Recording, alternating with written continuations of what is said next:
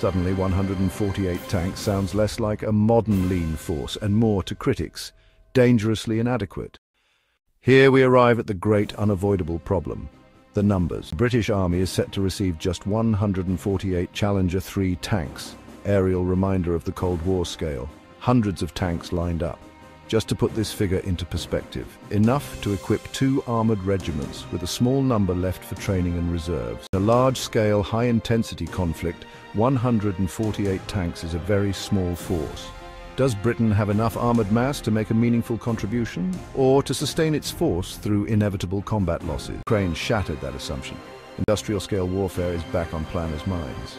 Suddenly, 148 tanks sounds less like a modern lean force and more to critics, dangerously inadequate. Can this size force, however advanced, hold its own, or achieve decisive objectives against an enemy that can field tanks by the thousand?